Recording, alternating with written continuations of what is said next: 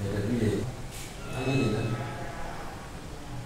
thì mấy cái được hai triệu máy.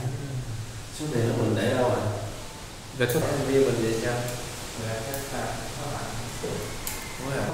hồi tiếng sau trả lại hết cho cán bộ à? đầu đạc rồi. Ờ, bữa qua tay mấy mình qua đây mình làm gì ở đâu? Dạ, Ngày hôm qua đây. Ai không? Dạ không em đi một mình. Đi mình mình đi về sao? Anh đi làm về đó rồi không thấy định thấy người ta cái phải nhỏ nhỏ á. xã xã gì? thì thì khác. Thì thấy xong đâu làm cái gì?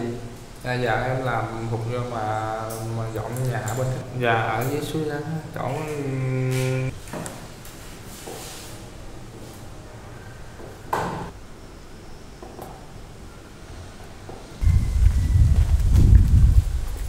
rồi mở cửa ra cho nó vô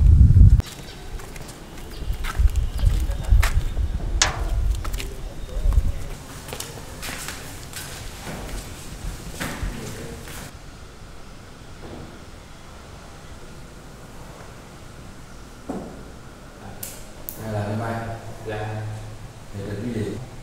Cái gì nữa? Với tiền mấy cái được hai triệu mấy. Số tiền của mình để đâu ạ? Dạ số nhân viên mình vậy sao dạ chắc là có bạn. Đúng rồi chuyến sau em trả lại hết cho cán bộ đồ đạc rồi. Ờ, bữa qua tháng mấy mình qua đây mình làm gì ở đâu? Dạ em qua đây. Ai không? Dạ không em đi một mình. Đi mình mình đi về sao?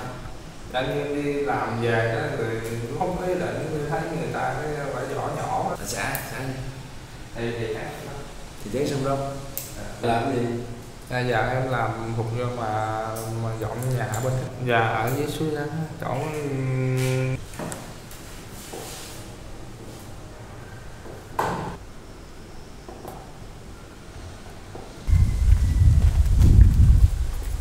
rồi mở cửa ra cho nó vô